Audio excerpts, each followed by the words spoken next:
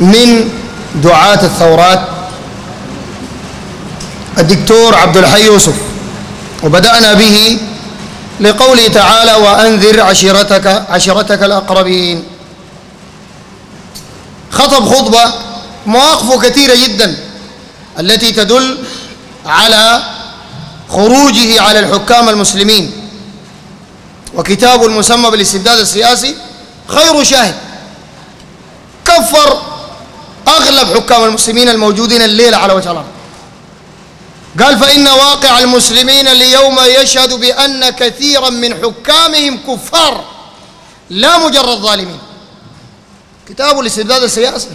برضو طبعنا نحن دلنا البي والدكتوراه من جامعة أم درمان. ما علينا.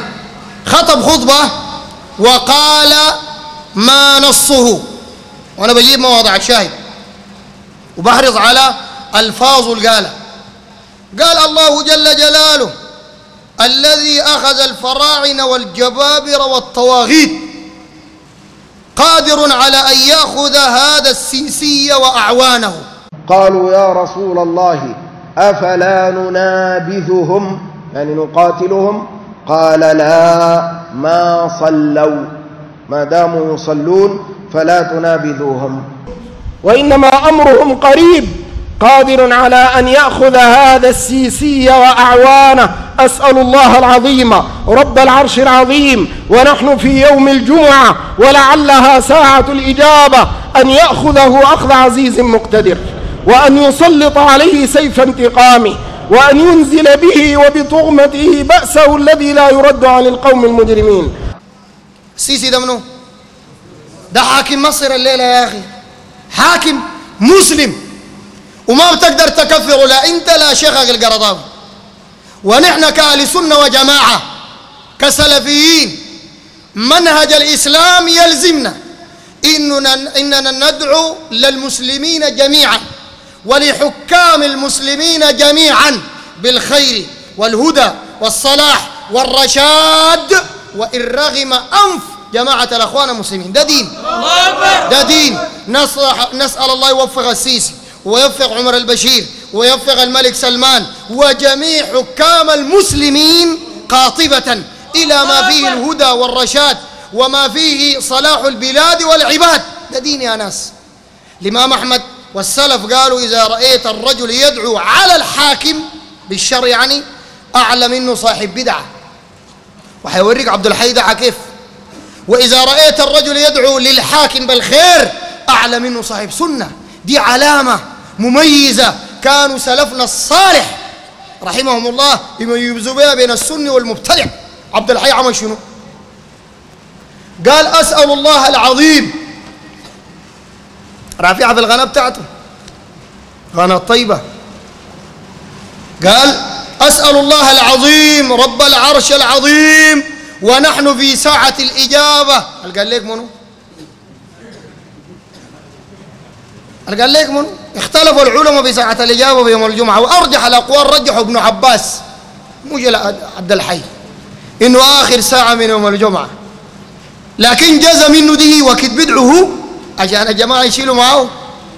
قال ونحن في ساعة الإجابة أن يأخذه. منو ذا؟ حاكم مسلم السيسي حاكم مصر. أن يأخذه أخذ عزيز مقتدر. وأن يسلط عليه سيف انتقامه وأن ينزل به بأسه الذي لا يرد عن القوم المجرمين. هسه يقولنا ده مجرم عبد الحي ولا قرضاوي؟ الدنيا تقوم ما تقعد. ديل هم اللي بيقولوا للحكام اللي ما بيجوز القول فيهم. والمجرمين هم شيوخ الأخوان المسلمين. رضوا ولا أبوا عندي أكثر من 700 دليل. تقدر؟ تقدر تنزل الميدان؟ ما بتقدر. مين أول صفارة؟ ببيض لك يا مجرم. طيب إن شاء الله. قال الذي قال وأن ينزل به بأسه الذي لا يرد عن القوم المجرمين. ودعا عليه دعاء شديد. وداق محمد علي إسماعيل قبل كده دعا على حسني مبارك وكان حاكم.